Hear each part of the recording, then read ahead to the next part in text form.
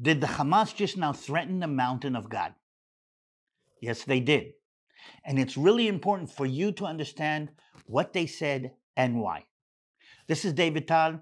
This is the Balagan Connection. And today we're going to be connecting a couple of very interesting subjects that I think play an important role in what's going on right now. We're going to be connecting Mount Moriah, that's the Temple Mount, to the El Aqsa Mosque and different things that have El Aqsa as their name. We're going to be connecting the Muslim, uh, the Muslim month of Ramadan, which is coming up, and everybody's talking about it in the news, with the Jewish festival of Simchat Torah or the giving of the law. And we're going to see how all of them connect. And I need you to come out with an understanding about the war that is going on in the land right now.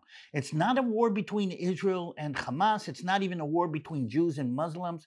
It is a war between God and the deceiver, God and Satan himself. And one of the ways that he's fighting this war is by putting his mark on God's hill or God's mountain on Mount Moriah. So stay with me and let's start off with what the Hamas is saying. This is a recording of the head of Hamas, Ismail Haniyeh, who sits in Qatar, by the way, not in, in uh, Gaza. And this is what he is calling for all of the Arab world to do.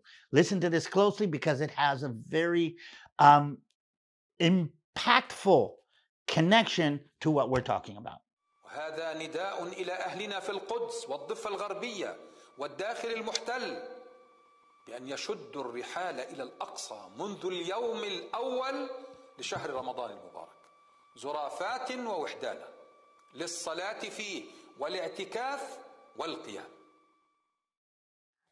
Look at what he's saying. He is saying to Muslims, come to El Aqsa, come to this mosque on the, the hill in the middle of Jerusalem, on the Temple Mount, and we will start our rebellion there.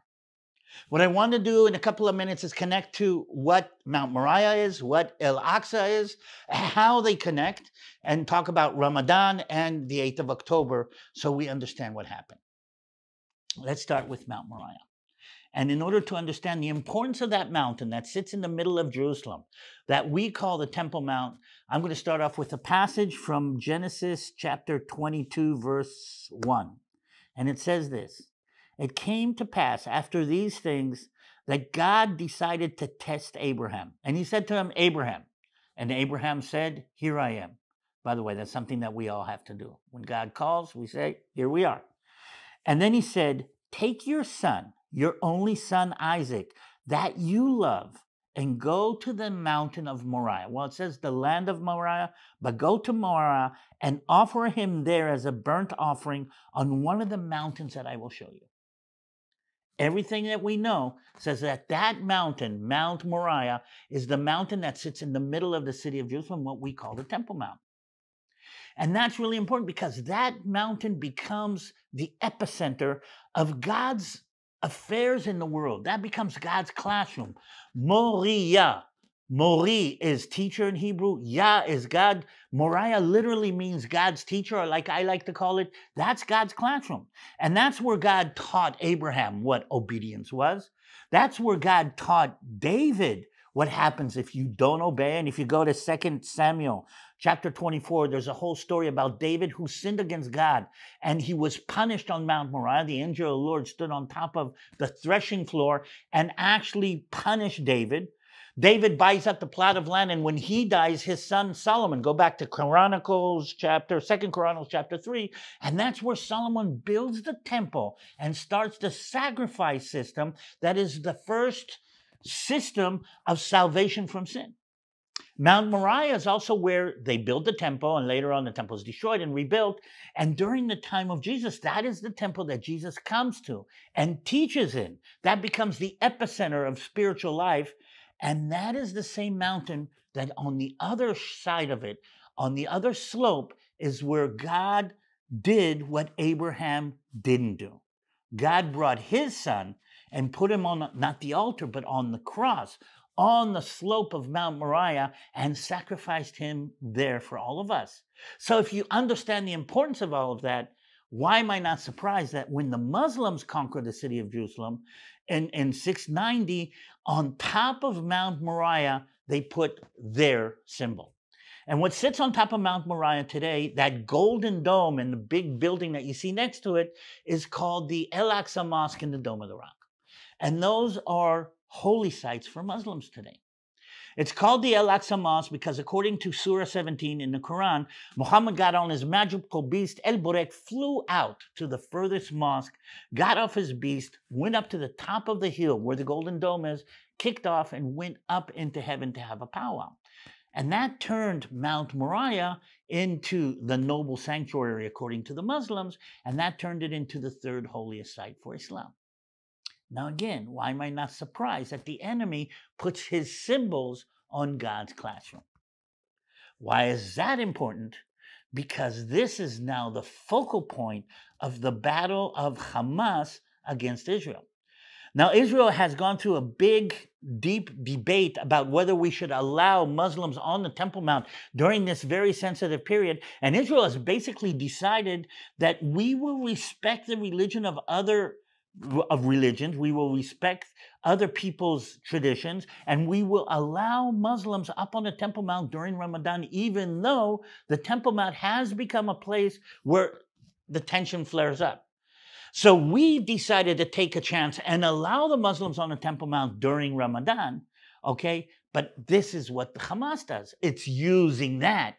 It's using our appeasement, it's using our patience, it's using our spiritual or religious respect against us. And it's calling for a day of, of violence. It's calling for all Muslims to come together.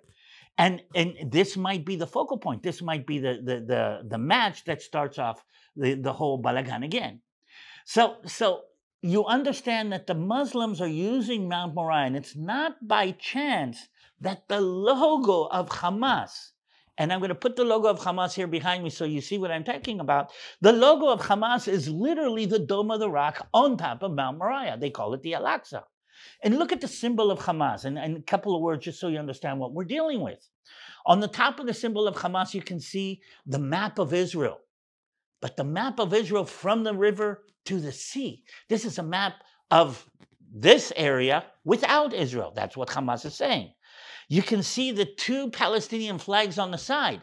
And one flag in Arabic says there's no other God but Allah.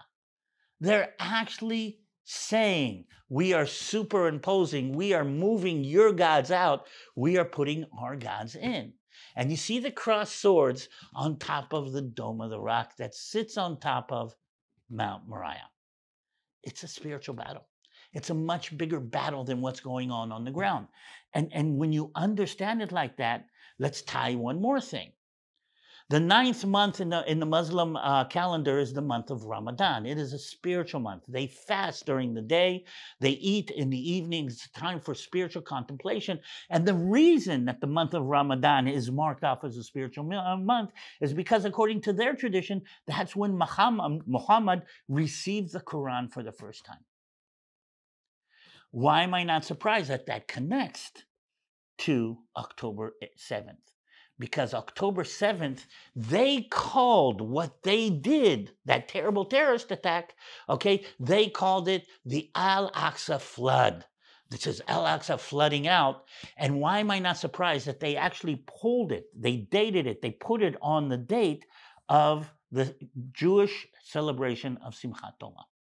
Simchat Torah is the Jewish celebration of us receiving the Bible.